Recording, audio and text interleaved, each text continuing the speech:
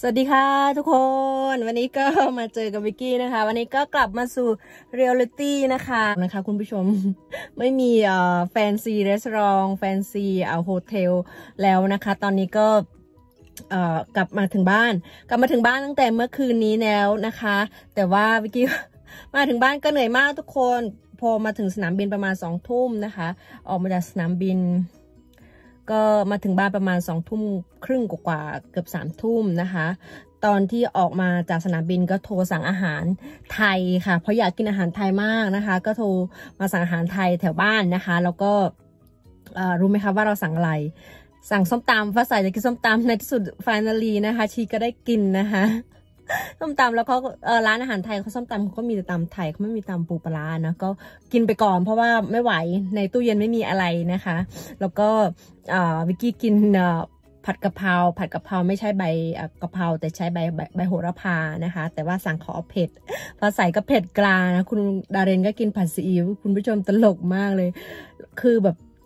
พอเรานั่งอูเบอร์มาใช่ไหมเราก็โทรสั่งพอมาถึงบ้านมันก็เสร็จพอดีวิกกี้ก็ขับรถออกไปเอานะคะก็พากันโอ้โหแบบดีใจมากได้กินอาหารไทยแท้ๆนะไม่ได้ถ่ายคลิปเพราะว่าเหนื่อยแล้วก็หิวนะคะ แล้วก็แบบงองแงงงองแงงกัน เพราะว่าแบบเออทำไมมันเหนื่อยมากก็ไม่รู้นะเวลาเราเดินทางไม่เข้าใจเลยแหละอาจจะเป็นเพราะว่าเออมัน อยู่ในเครื่องสี่ชั่วโมงใช่ไหมแล้วมันก็แบบใส่ผ้าแมสตลอดแล้วมันก็เลยแบบหายใจลำบาก มันก็เลยทำให้เราเหนื่อยกว่าพิเศษหรือเปล่าก็ไม่รู้นะ เพราะว่าพอหลังจากทานข้าวเสร็จนะคะฟ้าใสก็อาบน้ำนอน วิกกี้ก็อาบน้ำนอนสลบไปเลยคุณผู้ชมยังไม่ถึงสี่ทุ่มนะ พากันสลบไปแล้วนะคะสามคนพ่อแม่ลูกเหนื่อยจนแบบเออเช้าตื่นขึ้นมาก็ อุ่นอาหารให้ฟ้าใสนะคะ ก็คือผัดกะเพราเมื่อคืนกินไม่หมดนะคะ ก็อุ่นให้นางกินกับข้าวแล้วทอดไข่ดาวให้นางอีฟองนะคะนางก็กินไปโรงเรียนนะคะ คุณนเรนก็ต้มมาม่าให้นะแล้วก็ตอนนี้นะคะพี่กี้ก็อาบน้ำสระผม โอ้ยสบายใจคุณผู้ชม ได้อาบน้ำอยู่บ้านตัวเองนอนเตียงตัวเองก็สบายใจนะคะไปอยู่โรงแรมก็อีกแบบหนึ่งแต่มาอยู่บ้านก็จะมีความสุขอีกแบบหนึ่งนะคะ ตอนนี้ก็เออ กำลังจะออกไปซื้อของอย่างที่บอกว่าตู้เย็นไม่มีอะไรเหลือ เพราะว่าก่อนที่จะเราจะไปเม็กซิโกเนี่ยเราเคลียร์ตู้เย็นเอาของออกเอาของทิ้งให้หมด เพราะว่ามัน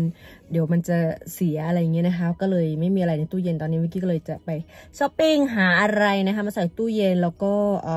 เตรียมทำอาหารไทยนะคะ ให้คุณสามีแล้วก็คุณลูกทานกันนะคะ เพราะว่าอยากอาหารไทยแบบแซ่บๆมากว่าใส่บอกอยากอาหารไทยส้มตำ แซ่บๆแต่ว่าเมื่อคืนนี้ก็แค่แก้ขัดไปก่อนวันนี้วิกกี้จะทำแซ่บๆให้นางนะคะแล้วก็จะทำไก่ย่างนะคะ ไก่อบไก่อบปีกไก่อบนะคะ น้ำปลาคอยดูสิว่าพ่อลูกเขาจะโอ้โหจะกินกันขนาดไหนนะคะ แล้วก็คุณนาเรนเน้นผักบอกว่าจะลดน้ำหนักยื้อจะลดน้ำหนัก เอ้ย สาธุสามีพูดอย่างนี้ทีไรวิกกี้ก็แบบ เออ จะดูซิว่าจะทำได้กี่วันนะคะ คือแบบ เออแล้ววิกกี้ก็ไม่รู้จะทำอะไรสามีจะเริ่มยังจะให้กินอะไร you จะกินอะไรล่ะกินแต่ผักกินผักกินยังไงล่ะก็ you ไม่กินข้าว you จะอยู่ได้หรือเปล่า คุณอะไรเป็นคนหิวหิวตลอดเวลา กินวันละหลายรอบ กินข้าวเสร็จแล้วก็กิน snack นะคะ กินขนมจุกจิกอะไรเงี้ยแล้วก็มี midnight ไอศครีมอะไรเงี้ยจะเป็นอย่างเงี้ยฝรั่งอะเออจริง ๆ แล้วมันต้องลดน้ำหนัก เอ้ย ไม่ใช่จริง ๆ แล้วมันต้องออกกำลังกาย แต่คุณอะไรบางบางทีเดี๋ยวเหนื่อยเหนื่อยก็ไม่อยากออกแล้วอะ ทำงานหนักเหนื่อยแล้วก็ไม่อยากกำลังกายอะไรก็ขี้เกียจไปก็อยู่ที่ตัวเขาควบคุมเองนะคะ แต่ทีนี้ถ้าเขาควบคุมไม่ได้เราก็ไม่รู้จะพูดยังไง เพราะว่าถ้าเราพูดไปเขาจะเสียใจก็ไม่เออแล้วแต่นะคะเอาละค่ะทุกคน เดี๋ยวยังไงนะคะวิกกี้จะพาไปช็อปของตลาดเอเชียมาใส่ตู้เย็นนะคะ แล้วก็เตรียมที่จะทำกับข้าวขายวันพรุ่งนี้ด้วยนะคะ เพราะว่าวันอาทิตย์นี้จะเป็นตลาดนัดวันสุดท้ายของ summer นะ แต่ว่าเอ่อ วิกกี้ก็จะมีของ winter นะคะตลาดนัด holiday สองอาทิตย์ แต่ว่าจะเป็นเดือนธันวาเดือนหน้านะคะ ก็ขายของหน้าหนาวไม่รู้จะเป็นยังไงเนาะคุณผู้ชมเออวิกกี้ก็คิดจะขายไม่ขายดี แต่ว่าไม่มีอะไรทำไง เดี๋ยวมันว่างฟุ้งซ่านนะคะ ก็เลยเลงทะเบียนขายใครอยากรู้นะคะ เป็นยังไงก็รอชมแล้วกันเนาะเอาเป็นว่าเดี๋ยวยังไงเราไปซื้อของกันค่ะ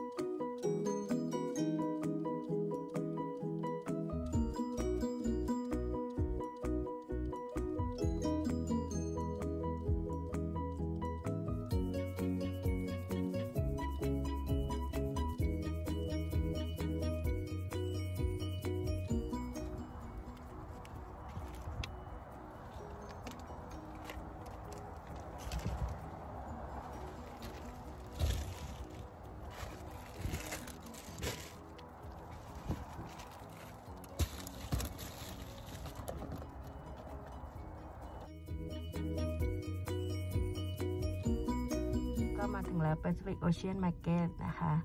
ลมพัดแรงมากข้างนอกทุกคน เดี๋ยวยังไงวิกกี้พาไปดูข้างในแล้วกัน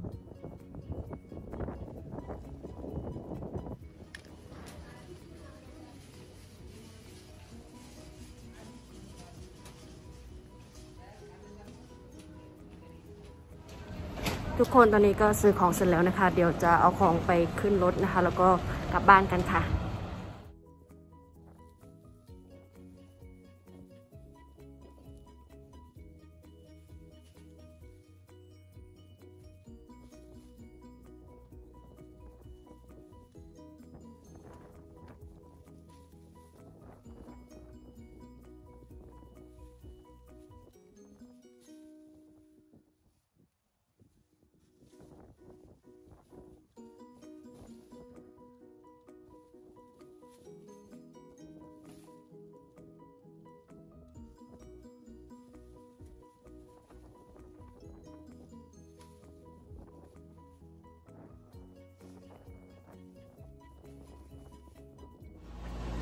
ทุกคนคะตอนนี้ก็กลับมาถึงบ้านแล้วนะคะ ซื้อของมาเต็มเลย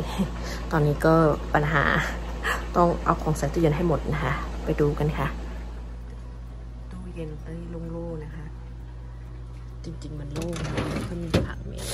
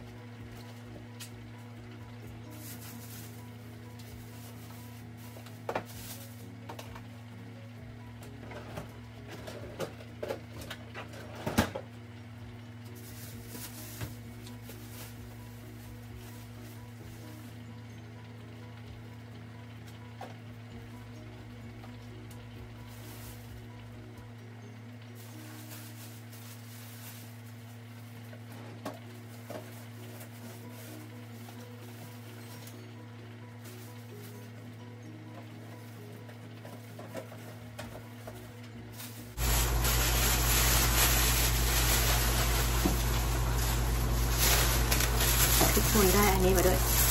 เรียกว่าลูกลูกพลัมลูกอะไรอะจำชื่อไม่ได้หรอก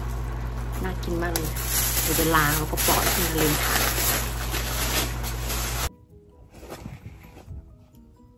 สวัสดีค่ะ ทุกคนวันนี้ก็มาพบกับวิกกี้เอ็ม channel อีกแล้วนะคะ วันนี้นะคะวิกกี้ก็มาขายของปกตินะคะ